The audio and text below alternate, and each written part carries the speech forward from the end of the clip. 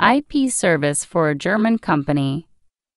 A German coal chemical gasifier manufacturer plans to export its fluidized bed gasifier technology with obvious energy saving and emission reduction effect to China and carry out cooperation with a Chinese enterprise.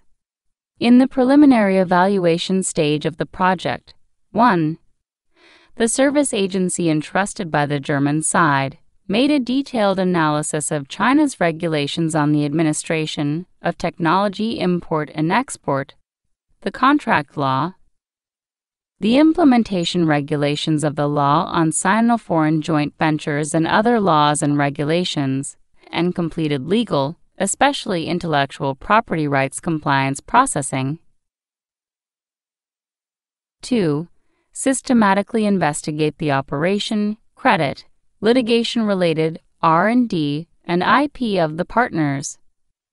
3. Sort out its own IPR clarify its own background IPR, including patents and trade secrets, and do applications for technologies that can still apply for Chinese patents. 4.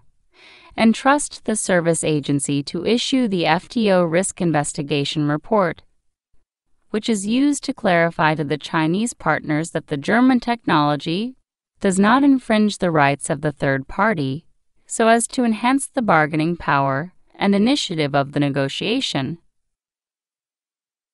After the project was launched, the German side regularly reviewed the R&D status and applied for patents on the R&D results participated by the German side.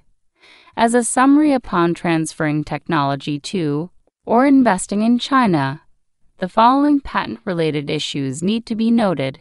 Firstly, it is necessary to understand the relevant provisions of IP in technology import and export, technology transfer, and technical cooperation in advance.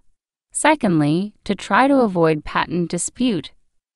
Investigation of patent infringement risks through FTO and other means.